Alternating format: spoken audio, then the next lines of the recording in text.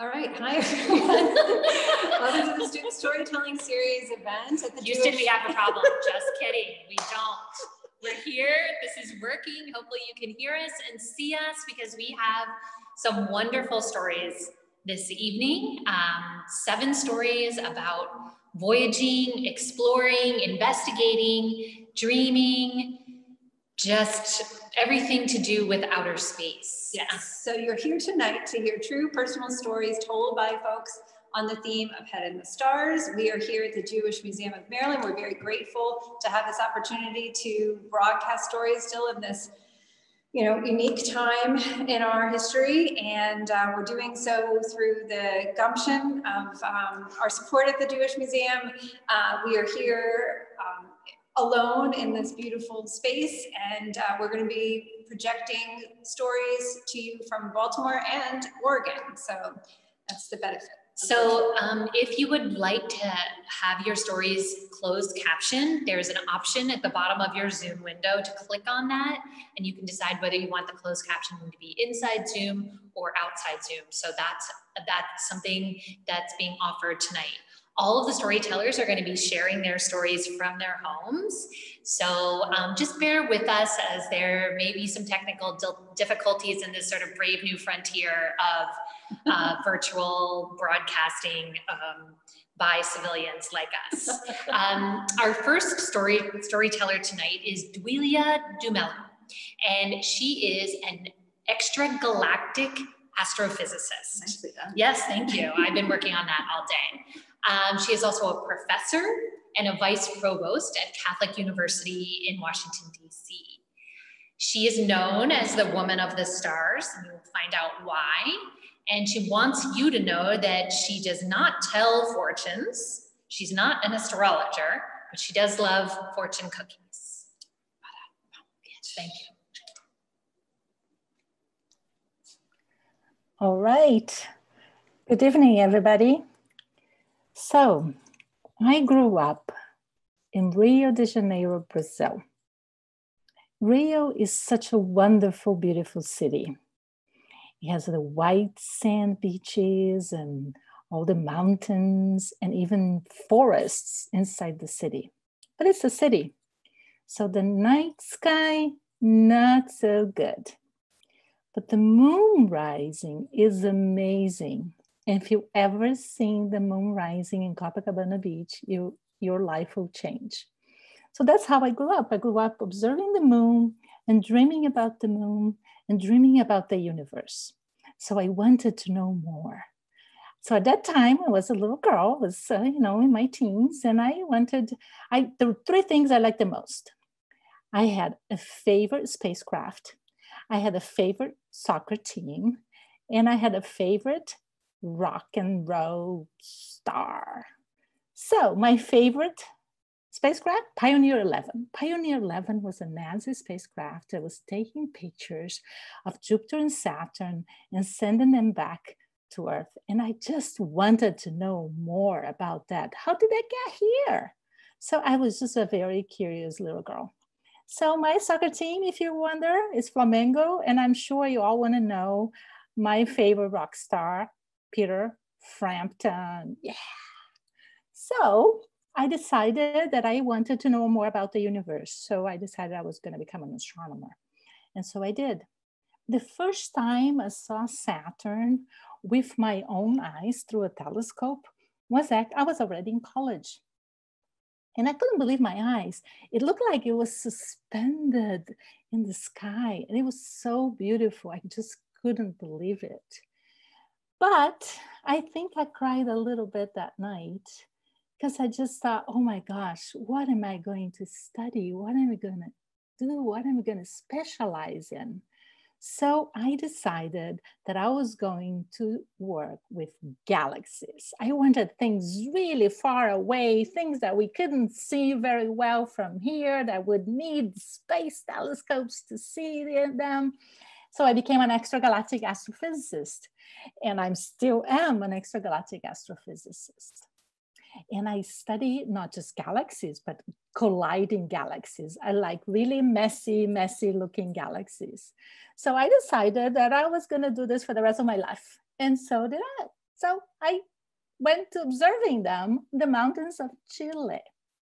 So Chile is wonderful for astronomy because they, it has all these mountains and it's really dry climate and really dark nights, exactly the opposite of Rio. So I could observe my colliding galaxies. And I wanted to know their chemical composition. I want to compare those colliding messy galaxies with galaxies that are just like our galaxy, our own Milky Way. So here I go observing in Chile, and I have my sample of colliding galaxies, and I am ready to observe one of them when I noticed something different. I noticed there was an extra star an extra star that was not supposed to be there. I could see stars of the Milky Way that were in the front of the galaxy. Remember, these galaxies are far away. This one in particular, 53 million light years away. So I wanted to see, you know, what is this star doing here? And it was exactly where the galaxy was supposed to be. So I decided that I was going to pass my instrument right there and I was going to see what was that object doing there. This is the curious little Duilia that when we were a little girl that really wanted to discover things. So meanwhile, I received a visitor. My visitor was my boyfriend at that time. He's my husband now. He's, we've been married 23 years. So he decided to come and visit me and bring me a sandwich. So I told him, well, wait a few minutes because I'm just about to see what I'm observing. And I think I saw exploding star. I think I discovered a supernova. So he was like, oh, you're kidding. Said, no, no, just wait. So we waited a little bit. The data arrived. We saw this on the screen and we're like, oh, whoa, something is different here. This is not just the chemical composition of that galaxy. Something is going on. So I called this guy who actually knew about supernova he was in the mountain. He came inside and he's like, Oh, congratulations, you discovered a supernova. And I said to him, So how do you know? How do you know this is, I discovered, how do you know somebody else didn't see it also? I need a catalog. So he looked at me and he said, I am the catalog. So this guy catalogs all the exploding stars that happen during the year. So he said, okay, so next night we're to observe again and we're going to write this report that you discovered the supernova. And I was like, oh my gosh. And finally, I actually realized that I was the first one the first one to see the star exploding. But why is this so cool? Why is this so important? It's because when stars explode, they launch all these chemical elements that they make inside them during the nuclear fusion process when they're producing energy. They launch all these chemical elements into the interstellar medium. And these chemical elements will form new stars, new planets, and even life. We are made of stars. So I finally got back 20 years later that feeling that I had when I was a little girl. So what do I do in our days? Well, when I go to Brazil, and I go very often, I look for the little girls, I look for the little duilias in the audiences when I give speeches, and I look for their bright eyes because their bright eyes are also made of stars. Thank you, everybody. Our next storyteller is Eric Morrison, whose music you actually heard at the top of the show. He is um, a musician, obviously. He spent his first, um, his 20s, let's say, uh, touring with the indie rock band Home. You can listen to them on Spotify. I think. I don't know if that's true, Eric. You can correct me. Um, and uh, he now focuses on a, a, ton of different projects, including the 100% Storms Ensemble, which is a faux orchestra that focuses on cinematic instrumental mm, music. So anyway, welcome, Eric. Thank you. Uh, yeah, my name is Eric. Nice to nice to be here tonight. Uh, I'm a musician and a space nerd. Um, my father is a science teacher, uh, and when I was growing up, he had a, an astronomy club for his students which uh, he included me in. So I spent my childhood, uh, you know, looking through telescopes. Uh, at one point, we refurbished a, a, planetarium that had fallen into disrepair. uh, and took, we were living in Florida at the time, so we took a lot of field trips to see uh, shuttle launches. Um, so, you know, I, I got a genuine love of everything cosmological and carried it through my life. Um, so let's skip forward a couple decades. Uh, I've now got two young sons of my own at the time. Uh, and I go online to find a uh, DVD box set of Carl Sagan's uh, Cosmos series. And the algorithm figures me out and says, hey, did you know that there's a uh, CD of the Voyager Golden Record that comes with a book written by the creators of the Golden Record? And I said no, and I'd like that. Um, so I had knew I, I, knew the Golden Voyager, the Voyager Golden Record pretty well um, as a you know it's for, for if you don't know it's a it's a literal 12 inch album made out of gold um, that was attached to the Voyager space probes uh, and includes music selections from uh, all over the world. Um, but what I didn't know and what I learned when I got the book was that they had also sort of created this way of encoding photographs onto the album, uh, which were, you know, part diagrams, uh, part photographs from Earth. Um, and it, as I started into the book, it, it absolutely blew my mind um, how much thought they had put into it and how smart the ideas they had in terms of trying to communicate to, you know, an advanced civilization in space what the Earth was about, what humans were about. Um, and uh, you, so I'm going to put a pin in there for a second and just explain. By then, I formed the 100% Storms Ensemble, uh, which is a fake orchestra in the sense that, um, you know, I knew I had one friend in each of the uh, instrument families, and I would write scores for them. They would come over and they would just sort of overdub and overdub and overdub until I had sort of a big orchestral sound. Um, and I discovered early on that I just absolutely loved this process and felt so lucky to have these people that were being generous with their time and allowing me to make these really big sounding uh, records that sometimes I didn't know what I wanted to write about. I knew I wanted to be in the process, but wasn't sure what I wanted to actually write about. So I started giving myself fake commissions um, like I pretended that I was asked to write the opening ceremony for the 2012 uh, Olympics and the opening ceremony for the 1939 World's Fair.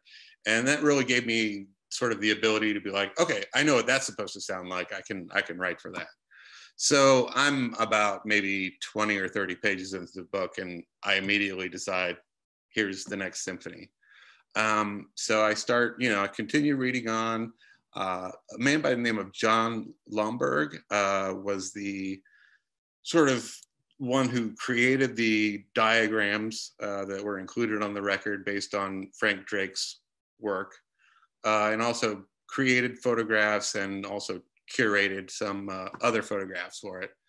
So I, I took a chance. I looked him up. I found his email. I, I, you know, wrote to him and I said, I'm working on this project do you know would you mind if i asked you a few questions as i as i work on it and to my great joy he wrote back very quickly and was like yeah that sounds very interesting. Just let me know anything you need. And i struck up a correspondence with him uh, in a friendship. Um, and so that was just wonderful. So i'm i dove into the symphony uh, wrote it in five uh, movements. The first movement is sort of a uh, a regal march of the rockets going out onto the launch pad and finally launching. That's the piece that you heard if you were uh, logged in right at the beginning. Um, and I knew I wanted to do the actual launch sound, but I didn't want to just use uh, audio recording. I wanted to create it myself. So I thought back to those younger days of going to the shuttle launches and remembered that unlike the TVs and movies where it's just kind of this overwhelming low rumble, when you're actually there, there's this effect that the rocket sounds like it's tearing the sky like it was paper. Um, so I got a big stack of newspapers, brought it into the studio, and just recorded myself recording all of these sheets of, of ripping all of these sheets of newspaper, um, and then stacked them all up and sort of pitched them in ways to make it sound like a like a launch. Um, so from there, the symphony goes through sort of the, the voyage of the Voyagers through the planets to the termination shock, which is what they call sort of the end of the solar system. Uh, and then eventually being retrieved by an alien species and having all this information decoded. Um, finish it up took me, I think, a little over a year. Um, printed up some CDs, made some DIY uh, booklets to stick in the CDs uh, that just explain some of the uh, addendums. Oh, I should say the addendums. Uh, in addition to the symphonic parts, I did five sort of audio experiments that were sort of tied back to the diagrams on the record, um, except instead of visual, they are audio. So for example, the very first image on the actual golden record is a picture of a circle. So I, I took a, you know, just a sheet of staff paper and dotted out a circle in notes and then played that um, just to say, that's what a circle looks like. Here's what a circle sounds like. Um, so anyway, I got everything together, passed it out to friends, uh, mailed a copy to Jon Lomberg and my father. Um, and shortly thereafter, I got uh, responses from both of them that were very kind and generous and thoughtful. And, uh, you know, those were probably the best meaningful uh, album reviews I've ever gotten in my career. Thank you. Thank you, Eric, for that great story about creating, about going deep down the rabbit hole into something. And I just love that he was able to put together his his love of space and his love of music. Anytime you can put like your two passions together in one thing, it's something beautiful. As you heard, in the beginning. We'll be playing it at the end too. And we want to let you know you can find it on Spotify. We'll put up the link in the chat um, and you can check it out, the entire symphony, and maybe read the book and, and um, just enjoy the whole creation. Our next storyteller is Nora Lützgendorf. I, I want you to notice I have all the difficult names tonight in terms of the introductions. Usually Jessica does. Um, and Nora is an astronomer at the Space Telescope Science Institute here in Baltimore.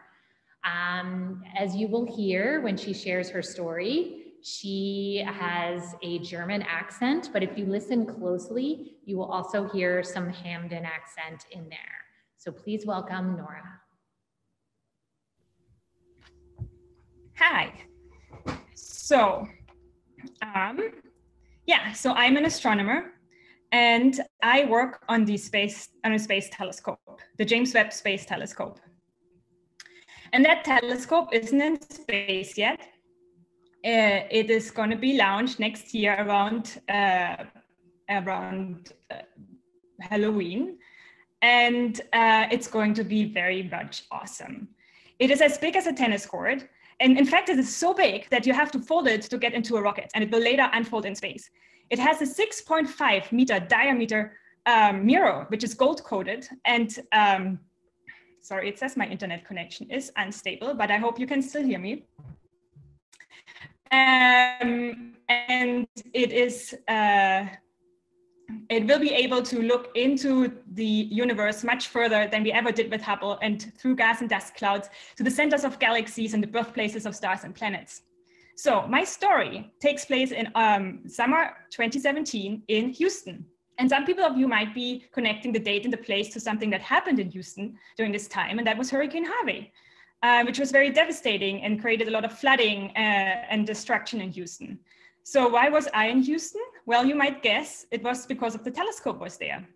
So the James Webb Space Telescope was actually assembled not far from us in Greenbelt at the NASA Goddard Center. And then it was shipped to Houston, to NASA Johnson, because Houston had something that Goddard didn't have, and that was a gigantic cryovacuum chamber. So a cryovacuum chamber is basically a gigantic fridge, which also can create a vacuum. And this is used to simulate space. So uh, you put a spacecraft in there and you create a vacuum and you cool it down to space-like temperatures. And then you test how the spacecraft behaves in space. And this chamber is pretty uh, historical too, because it was already used to test the Apollo missions. Um, so the moon landing missions uh, right there. So you can imagine this is this huge chamber. It's as big as a building. It has this huge door. It looks like a Stargate, very futuristic. And a chamber like this, you cannot just turn on and off that easily you have to wait until the vacuum creates and until the temperatures are low. So the way how those tests are done, we, we turn it on and wait until everything is cool. And then we run that test for a continuous like three months or so. And continuous means 24 seven. So um, everybody who's involved has to uh, maintain basically the, uh, yeah, we all have to be there to, uh, for 24 seven. So we work in shifts, eight hour shifts, three shifts a day. So, um, and um, that goes on for several months. So um, August 23rd was it? Yes, I took a plane down to Houston and you could say that Harvey was basically doing the same because both of us were heading to Houston, Harvey and me. Harvey was forming the Gulf, and I just very naively took a plane to that place where this hurricane would come. So I arrived two days later, Harvey made landfall. And Harvey didn't just make landfall once, if you remember, it made landfall a couple of times. It always soaked up more water and then dumped more water in Houston and so on. Now, you noticed probably from my accent, I'm not from the US, I'm from Germany. And in Europe, we don't really have those kind of those kind of things, hurricanes and tornadoes. So anything with swirling winds is something that is very new to me. So I've never had an experience. So Harvey was my first meet with a full-fledged hurricane. So I arrived and things went a little bit out of the ordinary. We couldn't just break up that test because as I said, it takes a long time for it to cool down. We were right in the middle. If we would have broken up that test, we would have gotten more delays for the telescope and it was already quite delayed. So we really wanted to go on. So we went on with the test. NASA closed down except of very essential tests like ours. And um, yeah, things went a bit crazy. We had to, we couldn't use our cars anymore to drive in. We were flooded. Everything was flooded. NASA Johnson is at the Nassau Bay, so it's at the water. So we were driven in with big pickup trucks um, that some of the NASA employees had. Um, and then inside, we had to work um, under transparent tarps. We had our computers under tarps and our laptops because the building was leaking. So remember, this building was from the 60s. So obviously, when you have a lot of water dumped on this building, you get leaks. So we had leaks everywhere, and then we had to um, sit under the tarp and work. Then our our eight-hour shifts turned into 12-hour shifts, which were already, I mean, eight-hour shifts were already pretty intense, but then the 12-hour shifts were even more intense because we just didn't have enough people to cover those three shifts a day. So you had to be very focused during the entire day um, the telescope wasn't making it easier for us either, just because there was a hurricane. So um, we still had to be very focused and, and con uh, yeah, concentrate on problem solving during uh, this time. So I had the day shifts and at night I was then in my hotel room. And I have to say, I was actually quite scared because again, I, I had no no idea what this weather can actually do. And I was in the hotel room and it was loud and stormy. And I got like, my phone was buzzing nonstop and saying, tornado warning, tornado warning, seek shelter now. And I was I was looking at my window and I thought like this can't be good. Um, what what does it mean seek shelter now? Do I go into the bathroom? There's no window there. Maybe I should sleep in the in the bathtub. I heard that that is a thing. Maybe I saw that in the movie once. Um, so I texted my my boyfriend now loving husband because he's american he should know what to do and um, he texted me back uh, given that was 3 a.m in the morning um, are you on the highest floor in your building no okay then you should be fine. Because you will hear the tornado coming. It sounds like a freight train.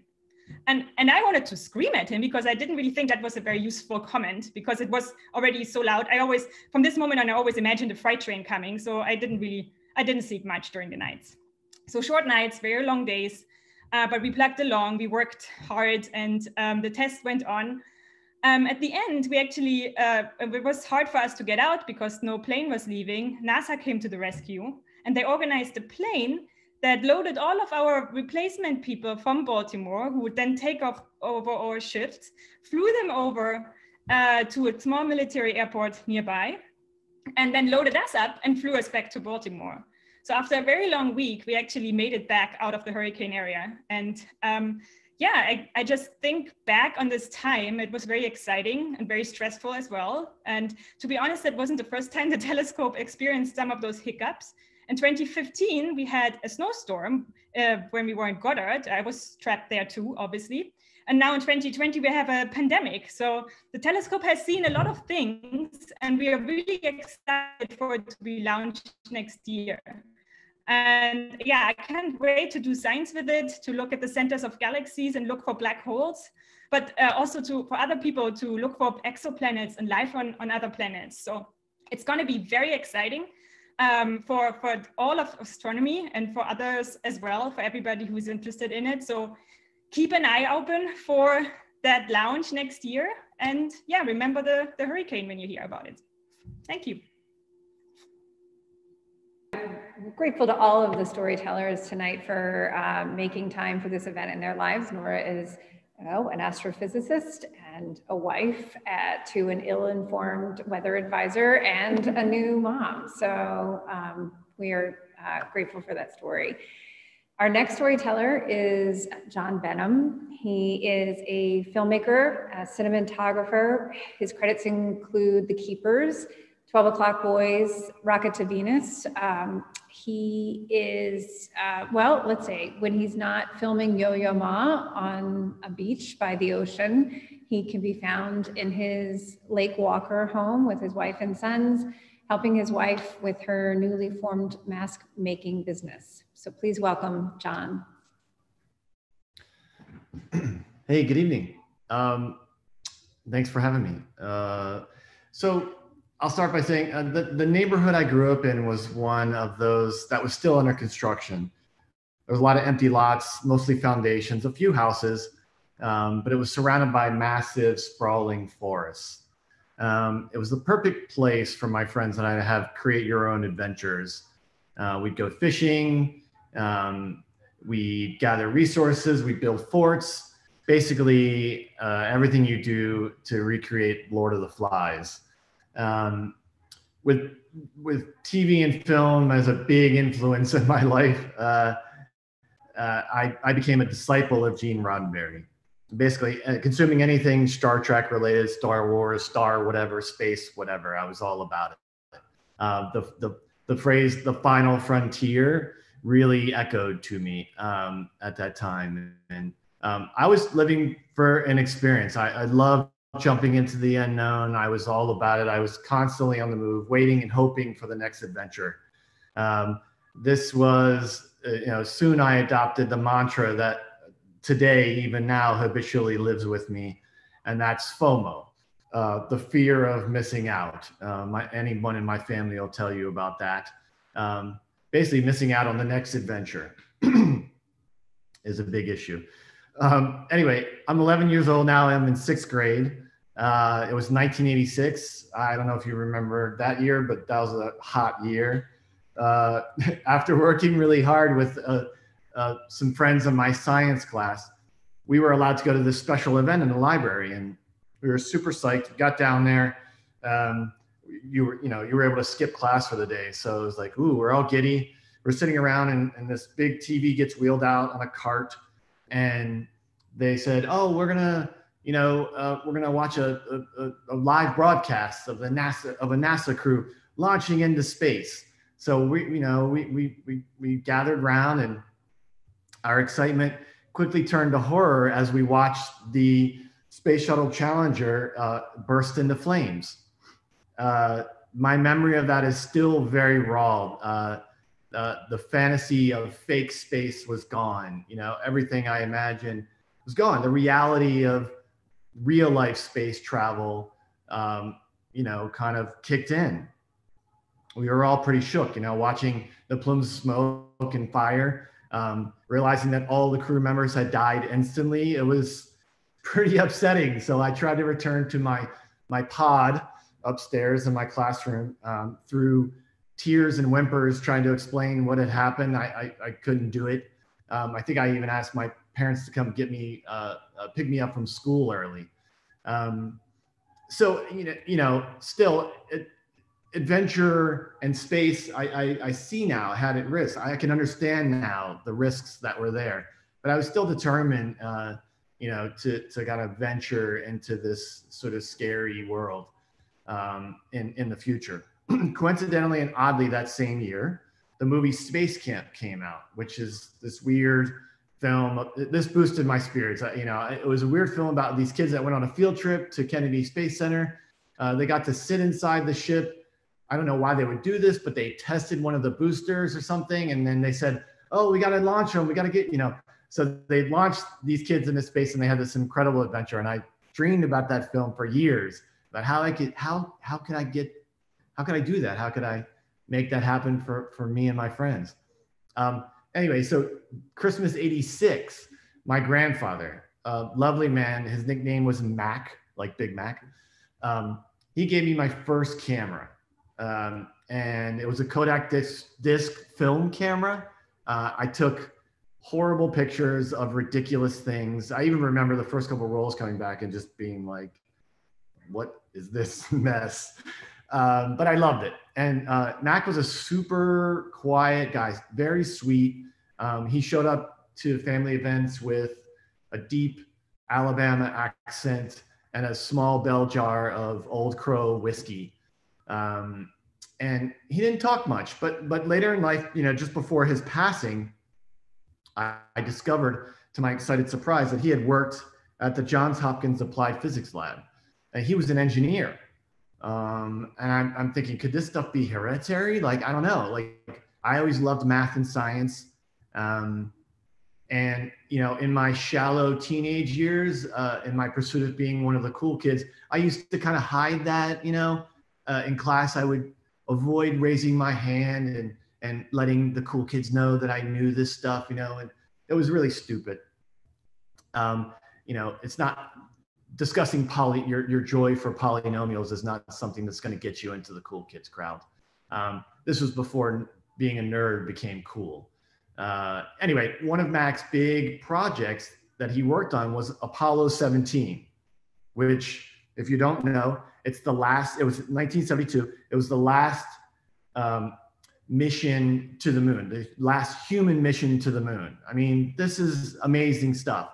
And I didn't know anything about this. He basically built instruments to help the astronauts explore the moon. Um, so anyway, years later, I'm, I'm still a big fan of cameras uh, like the one he gave me and still intrigued by space. Um, I've made a career as a documentary filmmaker and camera person. I've worked at Nat Geo for a decade and I, you know, many of my missions are, uh, you know, observing and filming society, animals, cultures around the planet on lots of different continents, uh, visiting places like Iceland where the rocky lava fields look like the moon surface, um, high elevation deserts in Chile and Bolivia, uh, where the surface is very similar to that of the Great Plains of Mars. Um, many of the films I work on take me to distant places uh, into often unknown circumstances, and I love it. Um, you know, they explore the horror and the terror of the human condition, and I think I'm drawn to these sort of extreme conditions um, that often I embrace during the shoot and just sort of figuring things out while you're out there. You kind of just like, you have no idea what's coming. You just kind of figure it out and you're filming what's happening and having to like kind of adjust. Um, especially when I'm facing like grave danger with big scary animals and, and, and very often sometimes big scary humans. Um, but space is still on my radar and I'm, I'm currently working with friends on a film tracing the mysterious efforts of three uh, rocketry enthusiasts from Baltimore that tried to build their own spaceship and fly to Venus because why not? I guess they thought. Um, it's really a cool story. But recently, a, a well known billionaire uh, who, who, will go unnamed, I have signed a uh, an NDA, a non disclosure agreement. Uh, he started a, a consumer space travel company to take regular folks like you and I to space in the near future. For many years now, uh, I've been involved in, in, in documenting this endeavor and uh, on camera and the progress of perfecting and testing this spacecraft that would basically make the round trip to and from a suborbital um, trajectory of the planet. And basically, this is like booking on an online app for a flight or for an airline to, that, takes you to space and back. That, that's the idea. And, I'm thinking, oh, this is finally my chance to get into space but it's probably going to be like five hundred thousand dollars, a million dollars a ticket, or something, something I could never afford. But uh, at some point, I figured as part of the filming team, uh, the producers are going to ask for volunteers, and uh, you know, to document the experience and film the actual flight from inside the, the, the cockpit. And I'm, and I, and that's when I'm uh, imagining that the, the FOMO that I have is really going to kick in big time. And uh, I'll, hope, I'll then embrace my uh, inner nerd and absolutely raise my hand. So, yeah.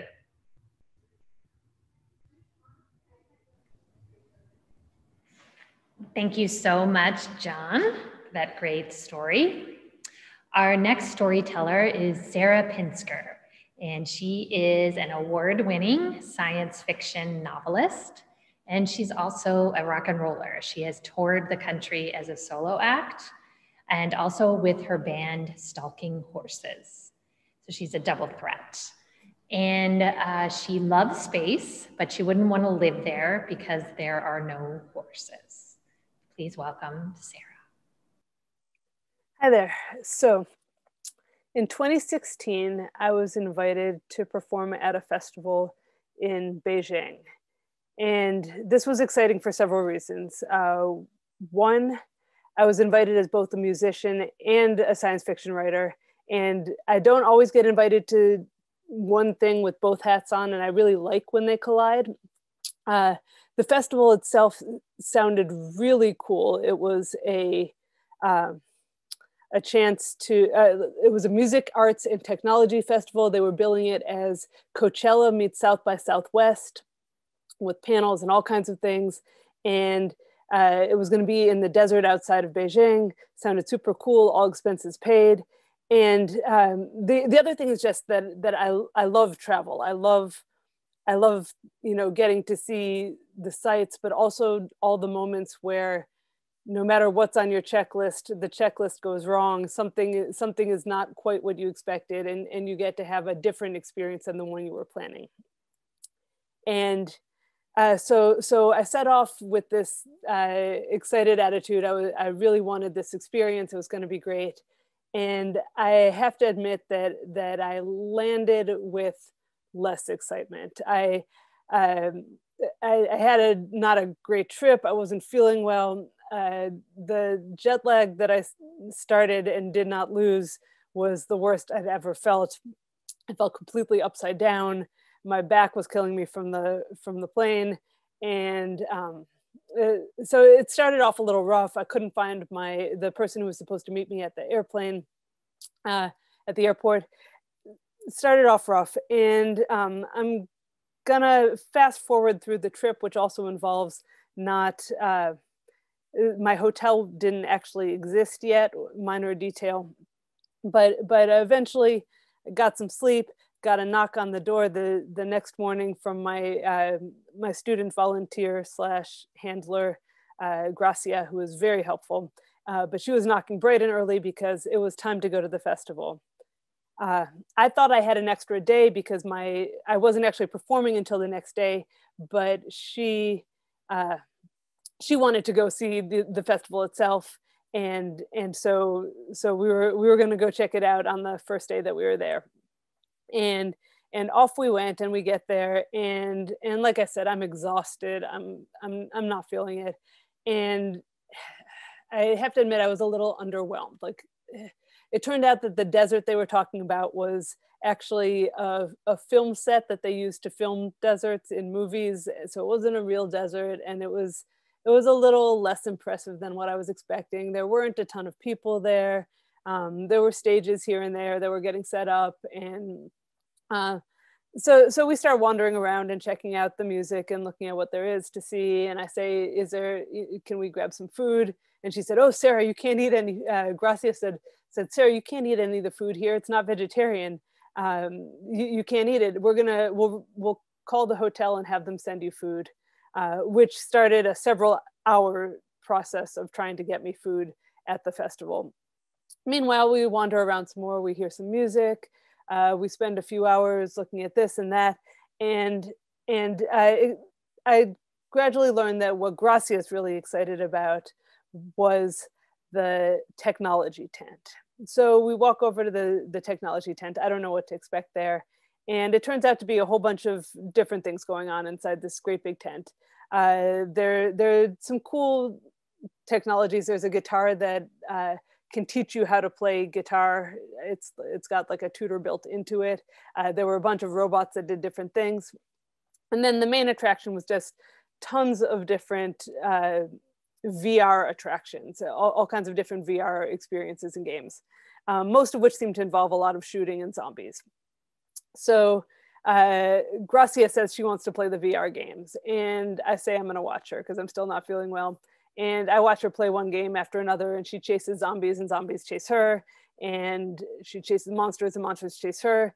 And finally, she stops and she says, "Sarah, you need to play one of these games. Just pick one. Pick one. You have to play a game."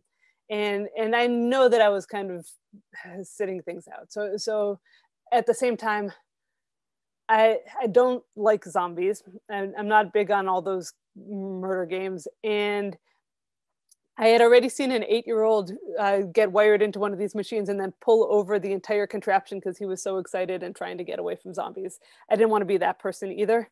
So, so I looked around and I saw one game in the corner that nobody was playing. And I said, That one, we'll go in the corner, I'll play that game. And we go over there and they strap me into the, the goggles and the headphones and the gloves. And all of a sudden, I was in space. And it was just this vast star field, nothing around, no instructions. They didn't tell me what I was supposed to be doing. And I start walking, and I have to push stars out of the way to walk. They're very dense. And and I discovered that, that different pressures do different things to them. So you can kind of plink them out of the way, you can throw them out of the way, you can push them. And then I started noticing they make different sounds when you touch them. And so I'm playing the different stars and trying to make music. And I'm still moving forward, looking for the thing I'm supposed to look for. And I can't find anything. I can't find anything. I'm still looking, but the journey is pretty fun too because there's music involved and I'm into it. And I finally had the thought to look around and I stopped and I looked over my shoulder. And when I looked over my shoulder, there was a little old man putting a baby to bed in the moon. And that was it. That was actually the story. When you found that, that was the end of the experience. And and it strangely felt very complete. Like like I felt like I had, I had been through that journey and I had found the thing I needed and it was a complete arc and it was beautiful and profound and I was so tired and so hungry. And we stepped out of the technology tent and we were on a different planet because the sun had set and the festival had begun proper and all of the art exhibits were up all of the installations were now lit up and there were giant space snake skeletons you could walk through and there was something called the future garden that was playing music and you touched different parts of it. And there was an enormous planet that you could touch and move your hands around and you would change the storms on its face. And the main stage itself looked like a, a ship that had crashed into the desert. And i felt like i was in a real desert now but it looked like a, a ship had crashed into the desert and the bands were playing by the dying light of the engines and it was i was I, I, had this holy hunger and this holy exhaustion and i was on a different planet and gracia took my hand and led me through a gap in the fence and we found ourselves in the area where the crew and volunteers were and she handed me to a group of people who were standing there in the dark listening to the music and she said, I'm going to go find your food. And she disappeared and she left me with these strangers. And one of them leaned over and she had a bag in front of her and she she held it up to me and it was full of steamed buns just plain old steamed buns and it was the best bite of anything i've ever had but i bit into that steamed bun and i sat down on the grass with these volunteers and we could still hear the bass pulsing and i suddenly realized this was the experience that i was looking for i had been through the stars i had landed on a strange planet. And then I had come back and I was sitting in a desert with a bunch of volunteers listening to music. And this was the experience. And everything after that was wonderful. But I just needed that, that total reset of being to another planet and back. That's my story. Thank you. And please check out um, Sarah's music and check out her books. You can find them at her website. Sarah Pinsker is her name. Okay, our next storyteller, um, 15 years ago, decided to do something um, very unexpected, um, which was to become a Baltimore City police officer. He has a background in humanities, a history degree from George Washington University. He's a poet, um, but he felt called to serve in the police. Now he um, works at the training academy where he teaches new recruits. And um, we have a story from him about something he does on his off time. So I grew up steeped in science fiction. I this was in the 70s and the 80s, and I'm sure I was one of the few kids who knew all the words to that cheesy theme song to Buck Rogers. I was going to go drink at the Mos Eisley Cantina. I actually had the blueprints to the Battlestar Galactica. I wanted to serve on the Battlestar Galactica every episode of Doctor Who. Loved Doctor Who. I loved his battles. I loved watching him prevail. So everything for me was science fiction. And that formed the bulwark of my understanding of the world. That was my lens. Shortly after that, flip, I'm a father. The years go by somehow, somehow, suddenly I'm a father. One day I'm not a father, the next day I am.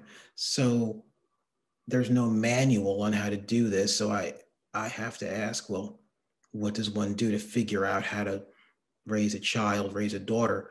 What you do is you fall back on the stories that you've come to understand, right? So for some people, those are the stories of their families, and for some people, it's their religious texts. Well, for me, it was my autographed copy of Fahrenheit 451 and my autographed copy of the Martian Chronicles and all of the TV shows and movies and books that I'd read and reread over and over again. And so fine, I said, you know, this is how I'm going to help her understand the world.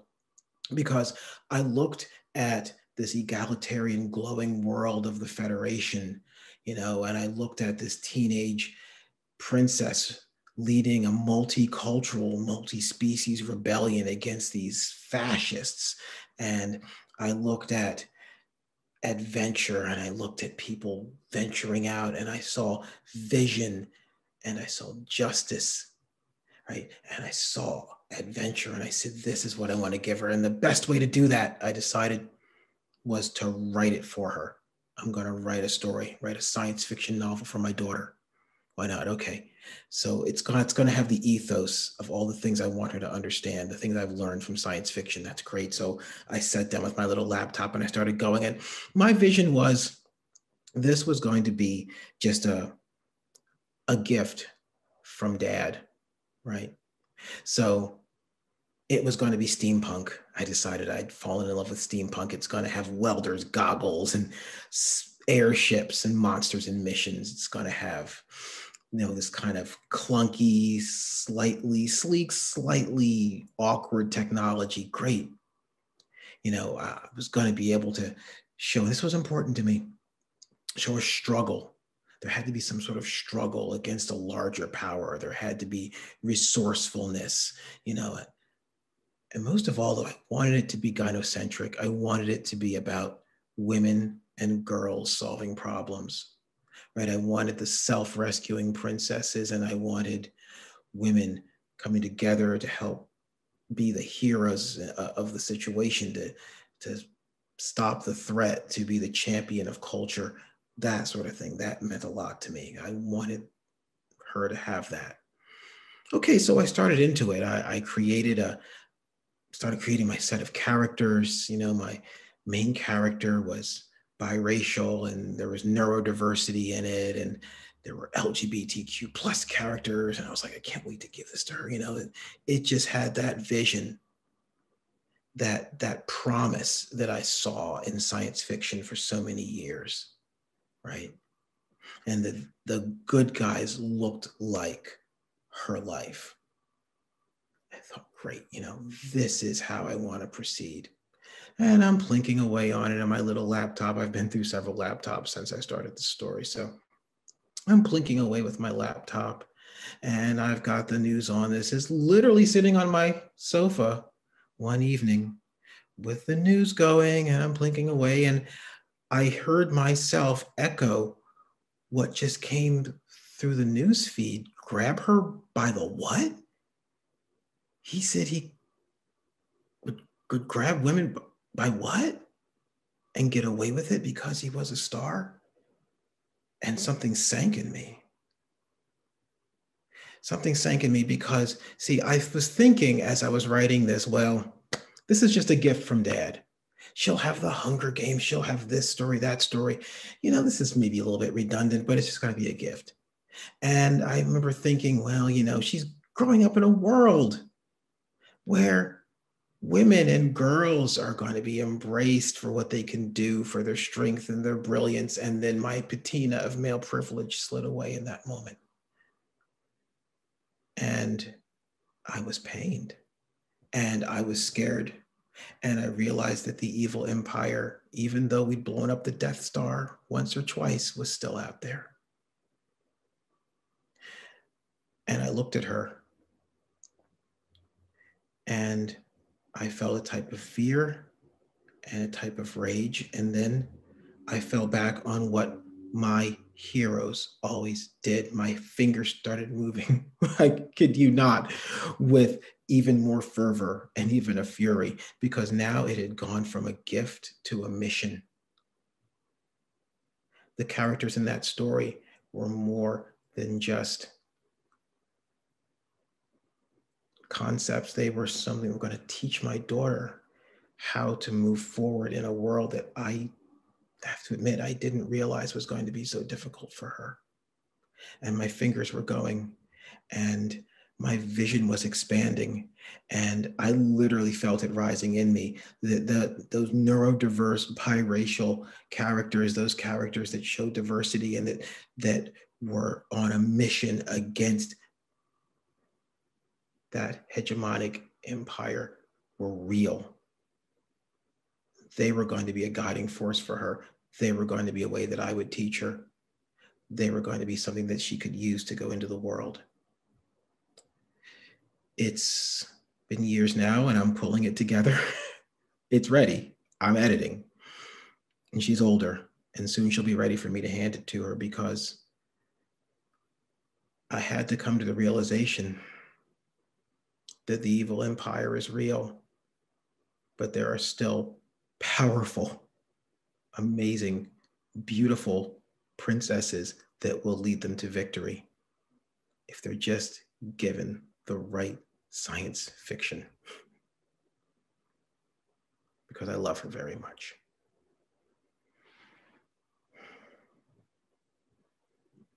Thank you. Thank you so much for sharing that story, Edward. And now for our final storyteller of the evening. Dr. Jeffrey Hoffman has had four careers in his lifetime. He started off as an astrophysicist and then was selected by NASA to be an astronaut. He was then, after a storied career with NASA, um, assigned to be a diplomat in Paris on behalf of the United States and NASA.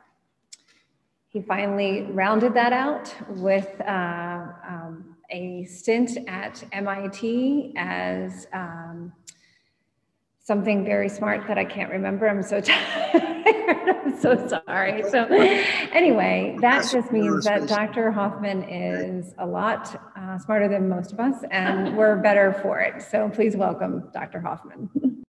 Well, thanks. Yeah, I'm a professor of aerospace engineering at uh, MIT. And when people ask me what that means, it's just rocket science, right? Uh, I am a rocket scientist and uh, had the um, great privilege of, of spending uh, uh 50 days in space during five space shuttle missions.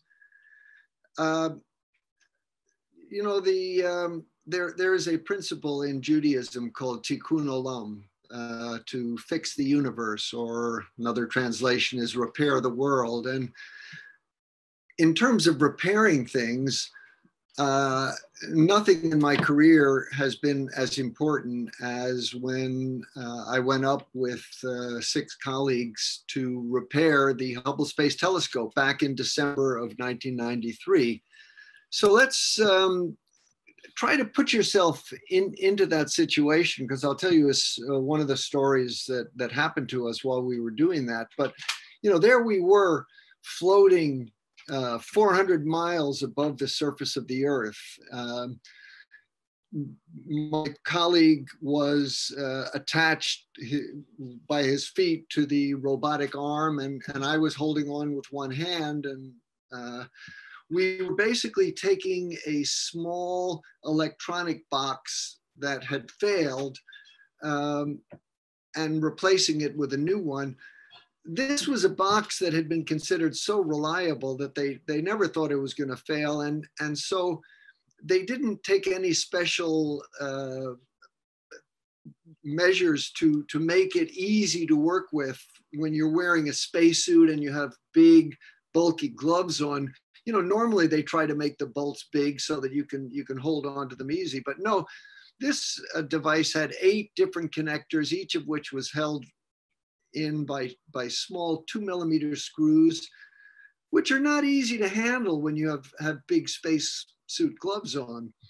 So um, you know, there we were, and, we had a screwdriver. and We were taking the screws out, and and then we had a, a little trash bag on on our chests, and and you you'd put this the screw as after you took it out into the uh, the trash bag. Problem was, uh, as we got more and more screws in the trash bag, and remember they're just floating around inside the bag because we're weightless up there. So when you open the trash bag to put another screw in, two screws float out.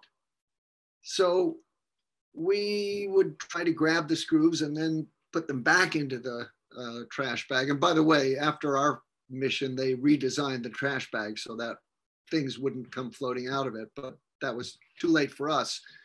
Anyway, at one point, uh, my, uh, my partner reached for one of those screws, touched it, couldn't quite get it with his big bulky glove and and knocked the screw in such a way that it was moving down towards the cargo bay of the shuttle which you don't really want things floating around in there because there's a lot of motors and, and critical things. And you know we have to close the cargo bay doors in order to come home. So uh, I had a little bit more freedom of movement because uh, I was what they call free floating, meaning I was just holding on to one hand. My feet were not attached to anything. I, I had a stainless steel tether so I wouldn't float away if I let go. But I could basically hold on with one hand and reach out with my other arm to, to, to grab that screw. Well, unfortunately, it was about six inches away from my hand. But the uh, our colleague back inside the shuttle who was operating the robotic arm said, oh, just hold on, Jeff. Um, I'll, I'll drive the arm over towards the screw and, and, and you can grab it. So, so he did, and, and the arm started moving and I was holding on, moving with the arm. But it turned out the maximum speed at which that robotic arm could move was exactly the same speed at which the screw was moving away from us. So there I was, you know, reaching out with my hand towards the screw and, and they were just both moving, moving away. It was the most frustrating thing.